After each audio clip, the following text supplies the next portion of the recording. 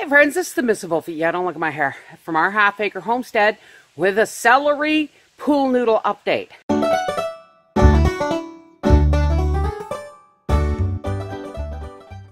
How happy they are. They were a little dim at first. And see, people ask me what I'm going to do as they get bigger. I'm just going to pull them up so that only the roots, see the roots, are in the water as they get bigger. I'll just pull them up, see?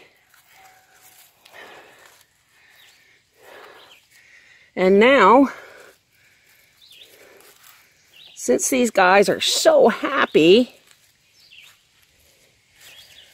I'm going to put some more in here. I didn't want to do them all in case this didn't work. Okay, so I put the rest of the celery in from that bed. One of them was really big, so I just popped him down in between the pool noodles and brought his roots back up. These guys will all stand up eventually. And this one was so big, I before I realized I could put them in between, I actually split this pool noodle so this guy would get his roots into the water. I will give you an update in a couple of days.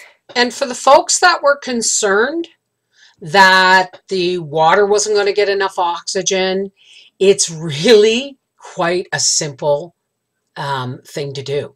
I can lift the entire plate of pool noodles off, dump that water into the garden, and give them fresh and fresh nutrients as needed. It really is an awesome setup. And as for the bigger ones, uh, the next time I make one of these, I'm going to put bigger pool noodles around the edges for the ones because you have you do have to get them started first. Now I'm going to pull the weeds out of that bed and put a second planting of small planting of beans. Okay, so that bed now has beans. Not many, but all my four bean beds are coming into flower.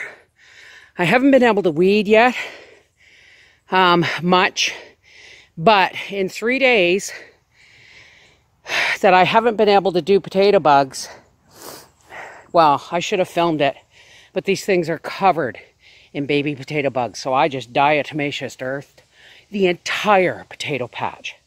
I also want to tell you that after I filmed that, I ended up getting an hour later a, a massive downpour, washing all the all the um, diatomaceous earth earth off the potatoes, and it's been raining ever since. So I had to go back out and do it today, and I did some weeding as well, but I didn't film it because I was really just going out to dust the potatoes. But honestly, folks, never, ever, ever do it without wearing a mask. If this stuff gets in your lungs, it's really dangerous. So thank you to my husband for the mask for dusting my potatoes. The uh, apricot tree is doing okay. Um, it's alive. That's that's what we're hoping for. And my black currant bushes are loaded, loaded with berries. My big tomatoes are in flower. And there's my nasturtiums, and my pole beans are starting to climb. And there are buddies. They're doing pretty good too. I had to actually take my cherry tomatoes and my uh, pickling cucumber vines down off those hooks because they've gotten too much rain and the tomato plants are going yellow. So I've actually had to take them out of um, off of there and put them where they're going to get sun but not rain. Hi. And here is my Narragansett turkey chick and my sweetgrass turkey chick. There is an oven grate over the box because they're trying to get out. Yeah, it's a baby. There's a lot. Hi, baby. You want some mom? My goodness. And that's your turkey update. Since Buddy has arrived, the girls are upping the ante and giving me two to three eggs a day.